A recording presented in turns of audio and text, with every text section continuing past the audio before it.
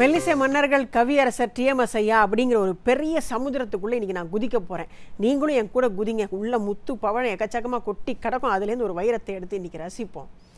கல்லூரி நாட்களில் காதலிச்ச ஒரு அழகான பெண் கல்யாணமான உடனே முதலிரவில் அந்த பெண் பார்த்தா அந்த பெண்ணே வேறு மாதிரி தெரிகிறான் அந்த சந்தர்ப்பத்தில் அவனுக்கு ஒரு பாட்டு வருது. அந்த பாட்டுக்கு ஒரு மெட்டை கொடுக்குறாரு மெல்லிசை மன்னர்கள். அந்த மெட்டை கே அவங்களுக்கே தெரிஞ்சிருச்சுன்னு நினைக்கிறேன். இந்த டியூனை கேட்ட உடனே இந்த டியூனு இது போகிறோம்ப்பா ஆயிரம் வருஷத்துக்கு பேசும் அப்படின்னு சொல்லி அந்த இன்டர்வியூடெல்லாம் எல்லாம் கூட்டி கூட்டியாக வச்சுக்கிறாங்க. அந்த டியூனுக்கு கவியரசர் வரிகளை எழுத ஆரம்பிக்கிறார். பாவாடை தாவணியில் பார்த்த உருவமா இது பூவாடை வீசி வர பூத்த பருவமா? அந்த பருவ மாற்றத்தை ரெண்டே வரியில் சொல்லியாச்சு. அப்போ அடுத்த கட்டத்துக்கு நகரம் எப்படி? இந்த முகம் எப்படி மாறிச்சு? பாலாடை போன்ற முகம் மாறியதேனோ பனி போன்ற நாணம் அதை மூடியதேனோ. நான் பார்த்த பெண்ணே தான் இது. அதே பாலாடை முகம்தான். ஆனால் என்னமோ ஒரு பனியாக ஒரு நாணம் வந்து மூடியிருக்கே அப்படின்னு எழுதுறார். ஐயோ இந்த பல்லவியெல்லாம் எழுதியாச்சு பாடுறதுக்கு டிஎம்எஸ்ஐ அவள் கூப்பிடுங்கன்னா அவர் வந்து ஒரு எக்ஸ்ப்ரெஷன் கொடுப்பார் பார்க்கணும். ஏன்னா ஸ்க்ரீனில் வந்து சிவாஜி சார் அப்படி ஹேண்ட்ஸமாக அவர் பட்டு வேஷ்டி பட்டு சட்டையுமா அவர் நடக்கிற அழகும். அவர் முகத்தில் அந்த குறும்பும் ஆ இந்த பொண்ணா நீயா? அப்படிங்கிற ஒரு குறும்பும். ஜமுனா அம்மாவோட அந்த கூந்தல் அப்படி பூ சுற்றிருப்பாங்க அந்த அழகும் அவ்வளோ அழகு கொள்ளை அழகு. டிஎம்எஸ் ஐயா வந்துட்டு அந்த எக்ஸ்ப்ரெஷன் அப்படி ஒரு ஒரு- அப்படி அந்த உப்பை போடுவார் பாருங்க. பார்த்த உருவம் இது பூவாடை வீசி வர ஆ இது ஒன்று இந்த மாதிரி நிறைய எக்ஸ்பிரஷன் இந்த பாட்டில் பாடியிருப்பார். என்னவெல்லாம் யோசிச்சிருக்காரு கவியர் சார் வாவென்று கூறாமல் வருவதில்லையா? காதல் தாவென்று கேளாமல் தருவதில்லையா? இதெல்லாம் எல்லாரும் எழுதியிருக்காங்க. என்னங்க கவியர் சார் அப்படியா? அப்போ அடுத்த லைன் யாராவது எழுதியிருக்காங்களான்னு சொல்லுங்கள் சொல்லென்று சொல்லாமல் சொல்வதில்லையா? இன்பம் சுவையாக சுவையாக வளர்வதில்லையா? சுவையாக சுமையாகன்னு எழுதியிருக்கலாம். சுவையாக சுகமாகன்னு எழுதியிருக்கலாம். சுவையாக சுவையாக டபுள் சுவை வளர்வதில்லையா? அப்படிங்கிறார். அந்த பல்லவியோட எண்டுக்கு ஒரு ட்விஸ்ட் வச்சிருப்பாங்கல்ல மெல்லிசை மனங்கள் பார்த்த உருவமா? இப்போ நான் சொல்கிறது புரியுதா? எவ்வளவு முத்துப்பழம் வெளியே வருதுன்னு? தத்தி தத்தி நடப்பதற்கே சொல்ல வேண்டுமா? நீ முத்து முத்தாய் சிரிப்பதற்கே பாட வேண்டுமா? இதெல்லாம் எனக்கு எவ்வளோ வாட்டி காட்டியிருப்பேன். ஆனால் இன்றைக்கி எதையுமே காணுமே. இதோட பாட்டை முடிச்சிருக்கலாம்ல? என்னை பொறுத்த வரைக்கும் கிரீடம். கவியரசருடைய கிரீடம் அந்த கடைசி சரணத்துக்காக காத்துட்ருக்கு எங்கே என் காலமெல்லாம் கடந்து விட்டாலும் முடிந்து விட்டாலும்னு எழுதலை அவங்கள சொல்லுக்கே அங்கே இடமில்லை. எங்கே என் காலமெல்லாம் கடந்து விட்டாலும் இப்போ இதை பற்றி பேசுகிறாரு ஓர் இரவினிலே முதுமையை நான் அடைந்து விட்டாலும் இப்போ கூட மரணத்தை பற்றி சொல்லவே இல்லை. மங்கை உனை தொட்டவுடன் மறைந்து விட்டாலும் அங்கே கூட அந்த அமங்கல வார்த்தை வராது. மங்கை உன்னை தொட ஒரு மாயாஜால மாதிரி டாக் அப்படின்னு காணாம போயிட்டான்னா என்ன பண்ணுவேன்? நான் மறுபடியும் பிறந்து வந்து மாலை சூடுவேன் அப்படின்னு காதலுக்கு ஒரு சொல்ல முடியாத ஒரு ஆழத்தை அந்த கடைசி சரணத்தில் எழுதுகிறார் அப்படி ஒரு பாட்டு அப்படி ஒரு படைப்பு இந்த பாட்டு. இந்த பாட்டை இன்னைக்கு ஷிபி எப்படி பாடியிருக்கார் தெரியுமா? அவர் வயசுக்கு இந்த பாட்டுடைய வயசையும் இந்த பாட்டுடைய மெச்சூரிட்டியும் யோசிச்சு பாருங்க. அதை உண அதாவது ஒரு ஒரு நுணுக்கத்தையும் போட்டு கேட்டு அத்தனை நுணுக்கத்தையும் வாழ்ந்து அவ்வளவு அழகாக எக்ஸ்பிரஸ் பண்ணி பாடியிருக்கார். ஷிபிக்கு ஒரு பெரிய கூடோஸ் அழகான சித்தார் போர்ஷன்ஸை ரஞ்சனி மகேஷ் வீணையில் வாசிக்கும் போது அவ்வளோ ரம்மியமாக இருக்கும். அந்த ஃப்ளூட்டு அதை செல்வா வாசிக்கும் போது அவ்வளோ அழகாக இருக்கும். நம்ம வெங்கட்டு அது அது ஒரு ஒரு சரணத்துக்கு ஒரு ஒரு மாதிரி ஒரு நடை. அந்த அழகை பார்த்து கேட்டு ரசிப்பீங்க. அதுக்கப்புறம் ஷாம் பெஞ்சமின். இந்த பாட்டில் ஒரு ஒரு முழுமைன்னு சொல்கிறோம்ல அந்த முழுமை அந்த ப்ரோக்ராமிங்கில் கொண்டு வர பாருங்க. அது ஒரு பெரிய வேலை தான். அந்த வேலையை அவர் எப்படி பண்ணியிருக்கார் தெரியுமா? அதே மாதிரி இந்த கண்ணுக்கு குளிர்ச்சியான முழுமையை சிவாவும் பண்ணுறார் காலத்தால் அழியாத பாடல்கள்னு ஒரு லிஸ்ட்டு போட்டிங்கன்னா இந்த பாட்டு இல்லாமல் இருக்கவே இருக்காது. அப்படிப்பட்ட பாட்டை நீங்களும் கேட்டு கிறங்குங்க.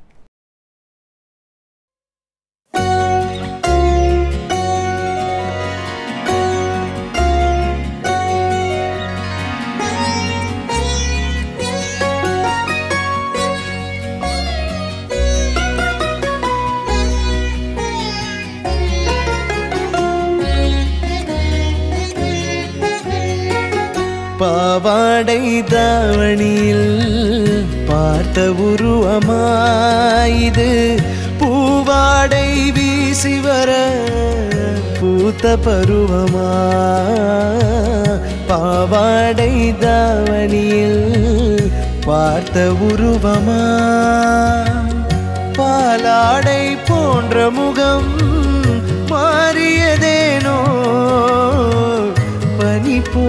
கண்ணானம் அதை மூடியதேனோ?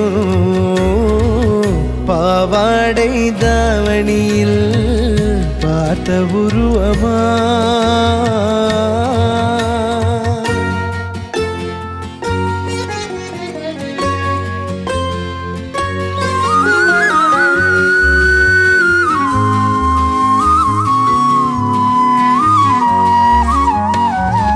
பாவென்ற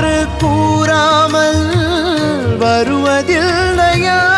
காதல் தானென்று கேளாமல் தருவதில்லையா? வாவென்று கூறாமல் வருவதில்லை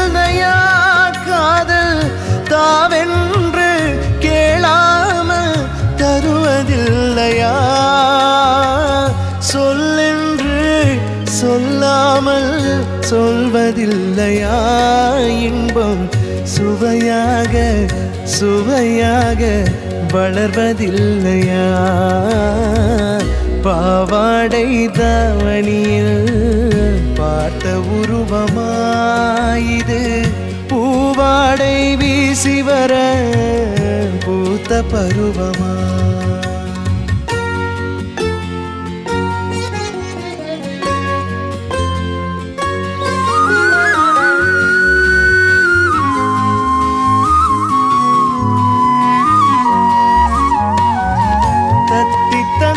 நடப்பதற்கே சொல்ல வேண்டுமா?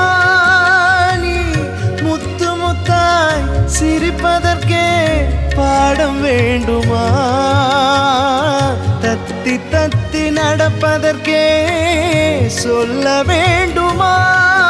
நீ முத்து முத்தாய் சிரிப்பதற்கே பாடம் வேண்டுமா?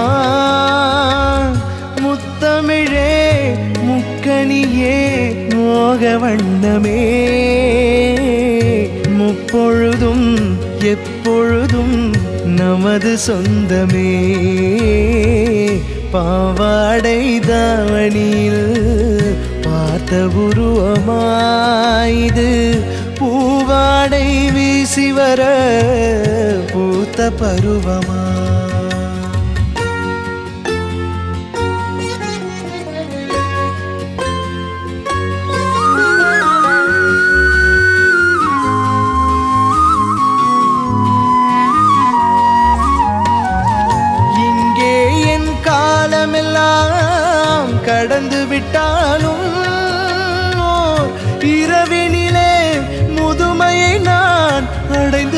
அடைந்து மங்கையுனை தொட்டவுடன் மறைந்து விட்டாலும் நான் மறுபடியும் பிறந்து வந்து மாலை சூடுவேன்.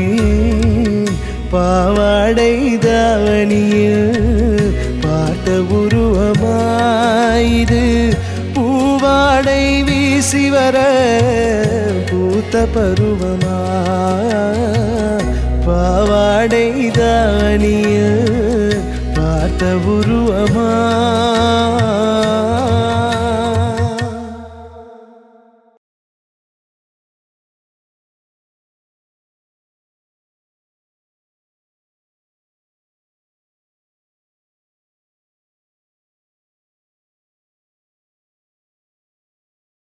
அறுபத்தி ரெண்டு வருஷம் பின்னாடி போனீங்களே ஏதாவது பழசாக இருந்ததா? எல்லாம் எவ்வளோ புதுசாக இருக்குது இந்த கவிதை இன்றைக்கி கேட்டால் புதுசாக இருக்குது இசை புதுசாக இருக்குது இந்த குரல் இன்றைக்கி புதிய குரல்களை வச்சு நம்ம கியூஃபாரில் கேட்கும்போது இந்த பாட்டே புதுசாக இருக்குது ஏன்னா இந்த இந்த பொக்கிஷம் அன்னைக்கே தோண்டி எடுக்கப்பட்டது. நம்ம திருப்பி அந்த பெட்டகத்தை திறந்து வச்சு அப்படி சும்மா அப்படி தூசியெல்லாம் தட்டி ஆ பாருங்கள் இந்த பெட்டகத்தை அப்படின்னு காட்டுறோம். அவ்வளோதான் கியூஃபார் இந்த இளம் பிள்ளைகள் இங்கே கியூஃபாரில் பாடுற குழந்தைகள்லாம் இந்த மாதிரி பெரியவர்களுடைய பாடலை பாடுறதுக்கே கொடுத்து வச்சவங்க. அதனால் இந்த கியூஃபார் நிகழ்ச்சி வந்து ஒரு ஒரு ரேடியோ மாதிரி ஒரு பாட்டு கேட்குற நிகழ்ச்சிங்கிறத தாண்டி எங்களால் முடிஞ்ச அளவுக்கு இந்த பெரியவர்களுக்கு நாங்கள் செய்ய வேண்டிய கடமையை செஞ்சுக்கிட்டு இருக்கோம் அப்படின்னு தான் நாங்கள் நினைக்கிறோம். என்றைக்கும் அப்படி தான் நினைப்போம். ஓகே ரொம்ப சீரியஸாக பேசிகிட்டு இருக்கணும் என்ன பண்ணுறது இந்த மூணு பேர் இந்த காம்பினேஷன் வந்துட்டாலே இப்படி தான் கொஞ்சம் கிறுக்கு பிடிச்ச மாதிரி ஆகிடுவேன் அதனால் அடுத்த வெள்ளிக்கிழமை நம்ம என்ன பண்ண போகிறோம் பிளாக் அண்ட் ஒயிட் கேட்கலாமா? கலர் கேட்கலாமா? நீங்கள் சஜஷன் சொல்லுங்கள் பார்க்கலாம். ரெண்டு பாட்டும் ரெடியாக இருக்குது எயிட்டிஸ்லேருந்து ஒன்று ரெடியாக இருக்குது அந்த காலத்து பிளாக் அண்ட் ஒயிட்லேருந்து ஒன்று ரெடியாக இருக்குது ரெண்டு பாட்டில் எது வேணும்னு நீங்கள் கமெண்ட்டில் போடுங்க. அந்த பாட்டோட நான் உங்களை சந்திக்கிறேன். அது வரைக்கும் வணக்கம்.